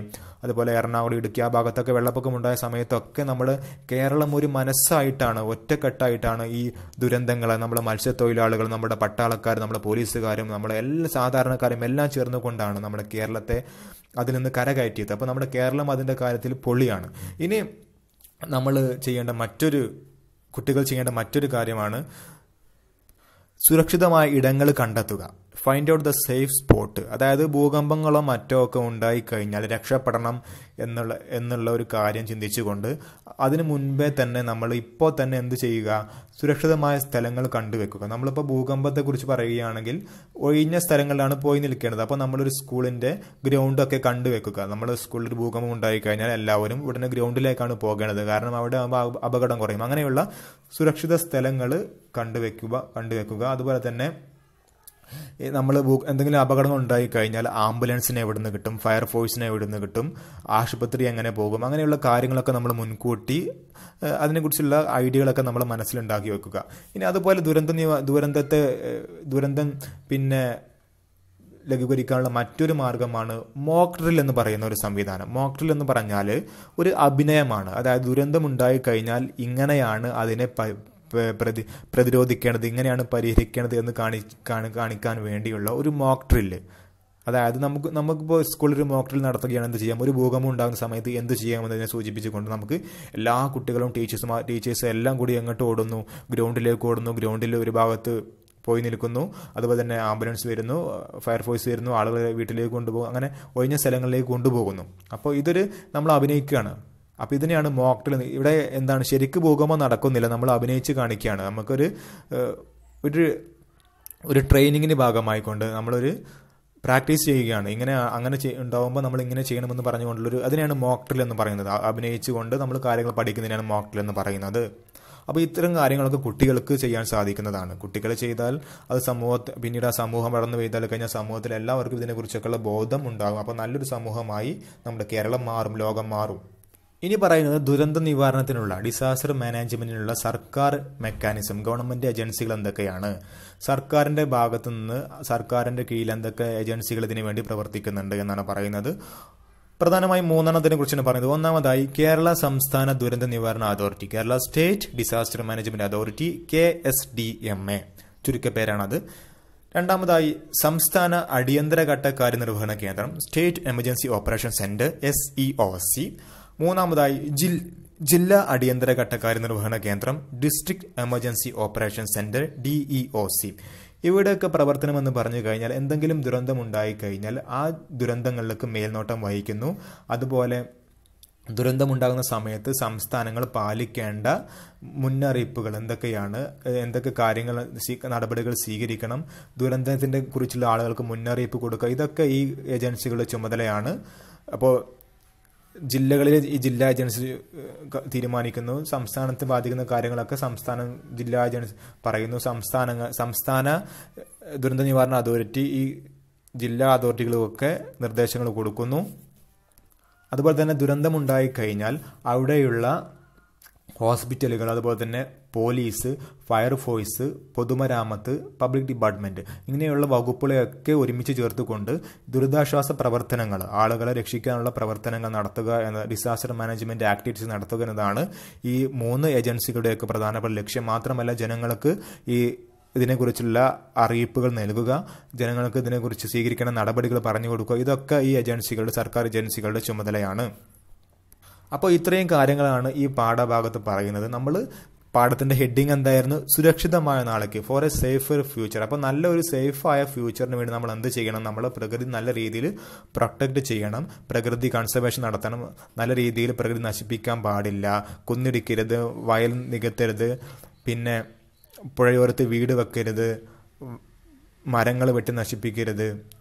ജീവികളെ കൊല്ലരുത്. ഇങ്ങനെ നമ്മൾ പ്രകൃതിയെ ദുരുപയോഗം ദുരുപയോഗം ചെയ്യാതെ ജീവിച്ചു കഴിഞ്ഞാൽ നമുക്ക് ഒരുപാട് കാലം നമ്മുടെ ഭൂമിയെ ആസ്വദിക്കാൻ സാധിക്കും. അപ്പം നിങ്ങൾക്ക് ക്ലാസ് ഇഷ്ടപ്പെട്ടെങ്കിൽ നിങ്ങൾക്ക് ക്ലാസ് ലൈക്ക് ചെയ്യാം. നിങ്ങളുടെ കൂട്ടുകാർക്ക് ഷെയർ ചെയ്യാം.